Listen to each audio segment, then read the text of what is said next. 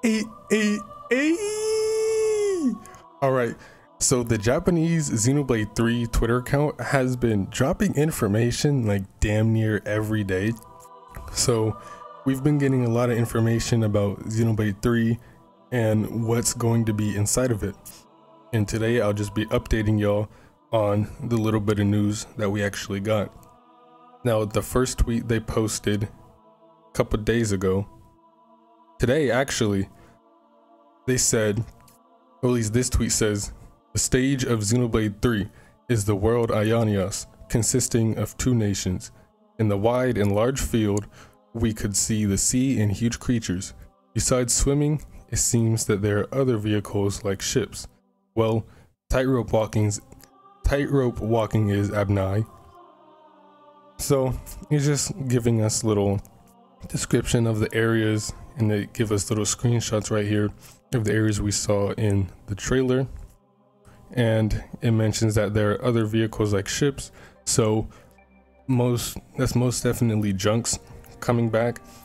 And the last sentence says well tightrope walking is abnai. I'm not quite sure what that means i did some research and from what i found abnai is a philippine is a philippine like surname like a name the philippines so i'm not quite sure what that has to do with anything, that could simply just be some sort of translation error with Google Translate because Google Translate isn't the best at actually translating shit.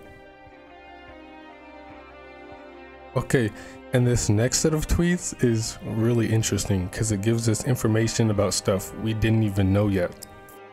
So this tweet reads, the army of Keves and Agnus is also based on huge mobile weapons called the Iron Giant.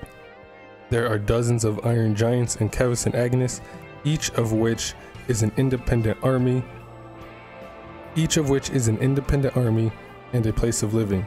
I want to go early.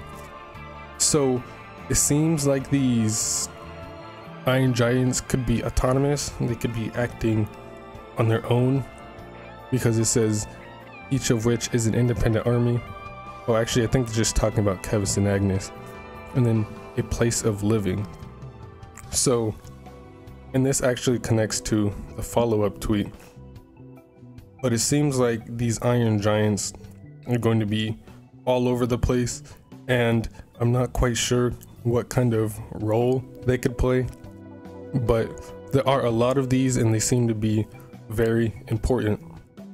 And the follow up tweet actually says the Iron Giant, where the soldiers live, is also called a colony. The colonies are numbered serially, and it seems that some of them have various roles, such as production production of weapons instead of combat. So, I kind of predicted this back in my trailer analysis with the screenshot right here of Taion. It looks he seems to be walking over to an Iron Giant and I had said that that could be like a gate into some kind of village or colony, but it turns out the Iron Giant itself is the colony. So our heroes will, will be living in these Iron Giants. These Iron Giants are just giant colonies to them. And since we have serial colonies, maybe we get to return to Colony 9 and Colony 6 from Xenoblade 1 and the part I found interesting was it said, it seems that some of them have various roles, such as the production of weapons instead of combat. So perhaps, like Xenoblade 1, we will be able to buy different weapons and equipment at different colonies. As in Xenoblade 2, we couldn't change our weapons, we could only change the core chips, so basically just the design and stats of them. But here, it looks like we'll actually be able to buy new weapons and gear. So that's that's a really nice addition. And that actually gets me thinking about a couple things. So these Iron Giants are obviously big enough to hold an entire colony. And one thing I was actually wondering was would we actually be able to like control these Iron Giants because Xeno is no stranger to mechs.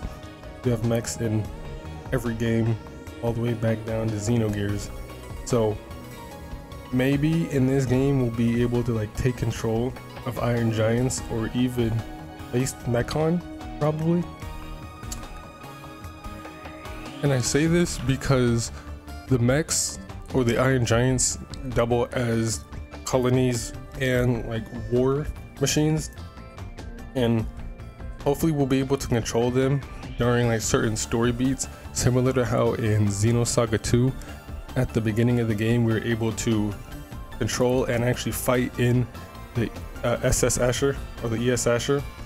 And even in Xenosaga 1, we're able to control Augs or Eggs, which are battle mechs. So maybe we'll be able to, it would be similar to Xenosaga where we have like two different combat styles of on ground combat and then in Iron Giant combat and we'll be able to switch between the two during during uh, combat. I'm not sure how that would work though, considering Xenosaga was is turn-based and then Xenoblade is more more like real-time action-based combat.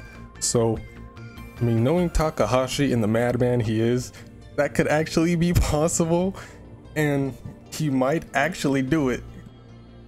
And now that I think about it and look back, we might actually be able to control some sort of mech or whatever. Maybe not specifically the Iron Giant, but at least some point or some type of mech because in earlier tweets when the first when the game was first announced, they made a couple of tweets about Keves and Agnus. And one for Keves reads, Keves is also a nation where mechanical technology has developed the Keves army is composed mainly of combat vehicles, and it seems that it is it uses a unit of small mobile weapons that people board and operate. For the time being, Keves has black clothes and looks like a mecha. So, and in this screenshot right here, we can see these these black mech type motorcycle weapon things right here. And maybe we'll be actually able to board these and operate these during combat in overworld like some type of mech like like a skill it'll, it'll be similar to like a skill so we can use it both in combat or we can do ground combat and switch between both in real time and these could act like our skills for our Keves party members and then for the follow-up tweet after that is about Agnus and it says, Agnus is also a nation that is strong in the magical technology ether. The composition of the army is also centered on units specializing in ether warfare and fights with self-sustaining small mobile weapons using ether technology. Agnus is whitish and good at ether battles. And if you see in this screenshot, we see that Agnus has similar like weapon weapon mechs and perhaps our Agnus party members will be able to board these and use these during combat or in the overworld. Or, you know, again, like skills, switch between both in combat. So, maybe we'll most likely be able to use mechs considering how much bigger this game is going to be than 1 and 2. So maybe not the Iron Giants themselves, but we will have some type of mech to board and operate during the game. And I actually got to thinking about something. Since the Iron Giants double as like war machines, combat machines, and colonies, I wonder will the ones that are colonies will they be able to like get up and move?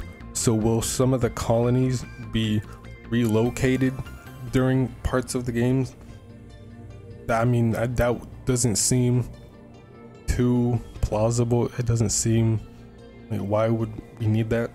But it's a really cool thought that maybe even ourselves we can like manually like control the iron giants and move the colonies onto somewhere else. I doubt it, but that'd be a fun gameplay mechanic. Yeah, so we've gotten a little bit of information, but I'm wondering when are they actually going to talk about Nia and Melia? Because we've gotten all the character bios, we got some information about the overworld, about the Iron Giants, and about Keves and Ignis itself, but they haven't really went in depth or talked about solely about Nia and Melia. So maybe they're saving that for trailer or for the actual game. But I'm excited to see what type of news we get next. We might get some later today or tomorrow morning, or we might not, but you just have to stay on the lookout. This was a shorter video today because there wasn't too much information to go over, but every time new information drops, I will make a video and update y'all on that. So that's about it for this video. I'm excited for this game and everything we're learning about it. But whenever new trailers drop, new new uh, Twitter posts drop, I will most definitely make a video and let y'all know. But for now, that's gonna be the end of the video. Like always, thanks for watching. Hope you have a damn good day. Stay safe, be well, and play some goddamn Xenoblade!